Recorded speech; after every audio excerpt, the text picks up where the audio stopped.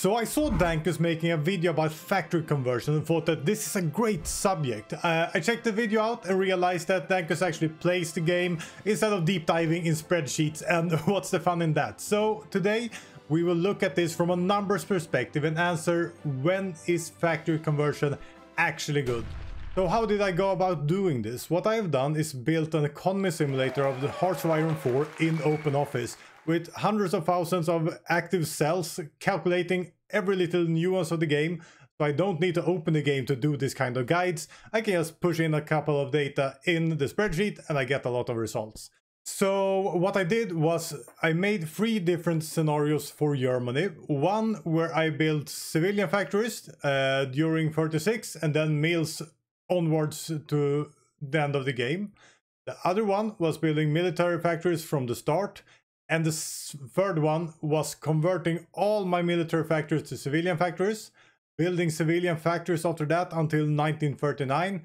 And in January 1939, I switched to just push out military factories. So what I wanted to start to do now is to compare these three scenarios.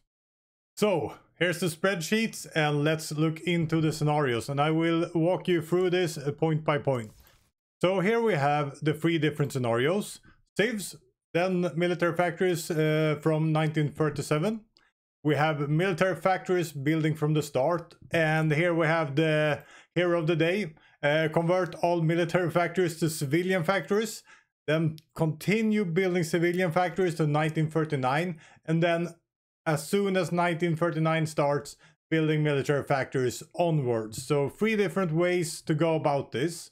And we have a couple of things to look at here. We first have just one of the interesting things is the total output. How much production you can build with these strategies. So if you look about looking at template about production cost, this is what you have, your military factory output. So this is how much you can build with your military factories.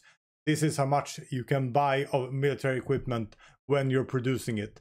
So if you see here, civilians, then the military factories from 37 is kind of equal to military factories from the start in your production into June 1941. So this is far into when you should be starting wars as Germany.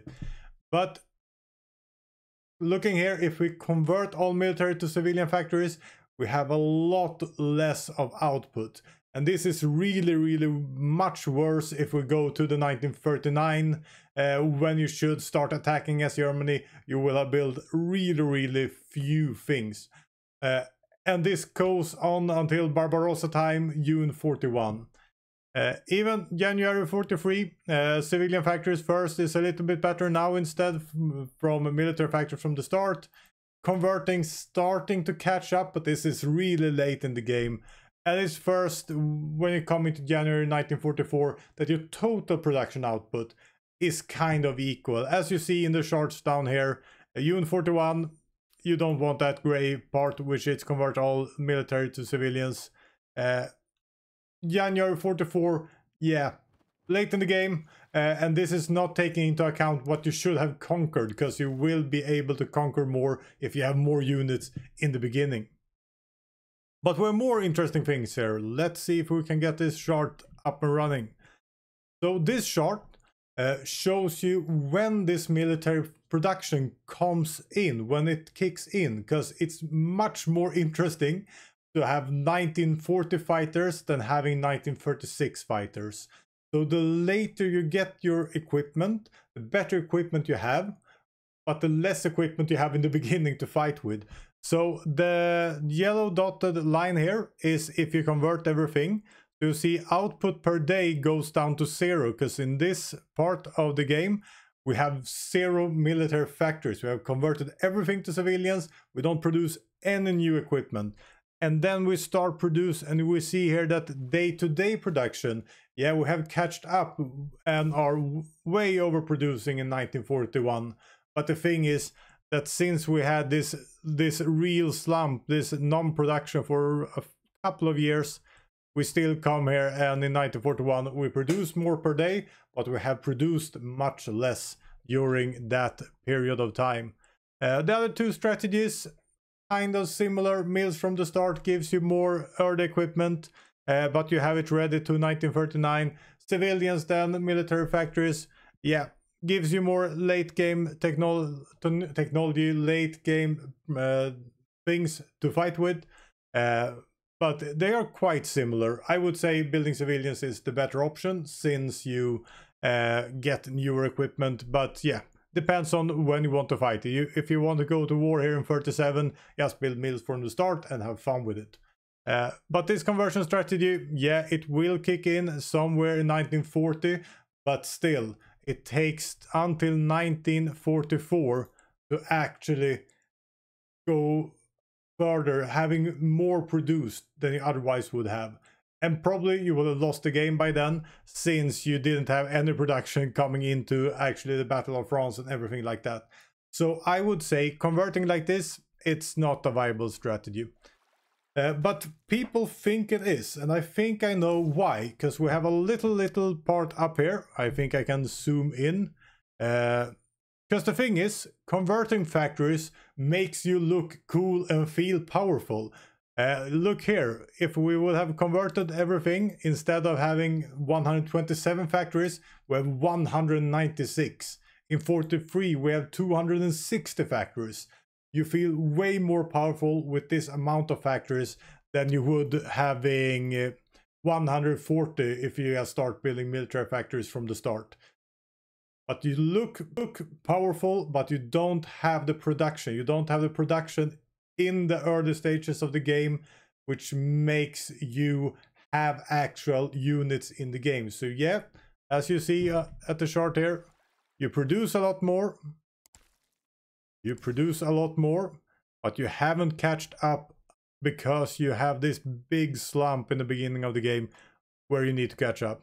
So conversion, usually this is the thing that gets you. You think you have a lot of strength because you have those military factories. You might have double the military factories, but since they have produced for so so much less time than you would if you have built them from the start, uh, they won't have produced that much equipment that you otherwise would have. But as always, most of you guys watching are not yet subscribers. We are almost pushing 5,000 subscribers, so please it would be amazing to have a round number, since I love numbers. And if you haven't checked out our Patreon page, please do that, because there's a lot of more guides there, a lot of more fun stuff happening. So consider being a free Patreon or anything else, and we would be eternally grateful. And yeah, we'll stop there, back to the guide. Now you might start thinking this is kind of boring. I wanted to use this for something useful, to do something fun with this feature. And yes, you can. And the US is the best example of that. The US starts with a lot of civilian factories. You can pump up a really heavy industry with them. I started in 1939 start date. If you have started building them from 1936, you will have a lot of civilian factories. And you want to push in the US early in the game. You don't want to wait to 1944 when Germany has conquered the entire world. Uh, what you can do with the US is really unique. Uh, not everything, because you have total mobilization, which makes conversion cost 30% cheaper. So the civilian to military factory conversion cost is 30% cheaper. Uh, then you can get this dude, Mr. Nelson, which uh, takes away another 20% of conversion cost. And checking out here, I think it's in wartime industry here, uh, you get another civilian to military factory conversion cost minus 50%. And I think you know where I'm going with this. Uh, and everyone who's seen me before knows that I think civilian factories are kind of perhaps not rubbish, but in the late stages of the war you want military factories. And in the early stage of the war you want military factories, because this is a military game. So you have the possibility to actually go down and draw 90% if we get the drop list here. So looking at the drop list, it should be minus 90% and it is minus 90% in production cost now for each military factory conversion. But if you look at the actual cost a little bit further up, it's actually cost just one. So building these three, this is three military factories that we're gonna convert. It takes one day and you have three more military factories. And this can be really, really good. If you have built up the US well, you might, when you think it's suited, go over and just converting like 100 civilian factories to military factories, making an extreme boost to the Allied war effort. And you can do it whenever it pleases you. You perhaps shouldn't do it in 39, but going into half of 1940, half past 1941, you could really push out extremely competent equipment. Yes, the 1940 tech um, fighters, you can go with 1941 tech uh, armor, 1940 tech armor, uh, and just push out high-end quality equipment with a huge amount of military factories. So this conversion is really, really good. And you can go over to the Soviet Union because they have uh, kind of the same thing, but not as powerful. If we look here, we have total mob and we have defense industry, which is a focus. You don't have really that kind of strength, but it's still really, really cheap. Uh, converting a factory with that costs 2000 instead of building a new one for 7200 and kind of the same thing. And as the soviet union you might be in a real real hard time defending. Then converting like 50 military uh, civilian factories to military factories start pushing out new equipment could really really save you the game. So converting is really really good. And you have total mob for every country but having that extra 20% or like in the us case where it just costs one to convert, it is really powerful. So when is this useful? I would say for the US primarily and for the Soviet Union in the second hand. You can convert civilian factories to military factories. Don't convert your precious, precious military factories to civilians. So that was the conclusions. Uh, we'll release one new guide every Monday. We release one Patreon guide every second Thursday. Uh, we also have the new expansion Götterdämmerung just been released. I've been starting to look into the more cool stuff there, but yeah, there will be guides about the new expansion. And I can also say that I'm actually going to meet up with Badger in one week time. And since we live in different countries, that doesn't happen way too often. But we'll see if we can do something exciting for you to watch when we actually see each other face to face.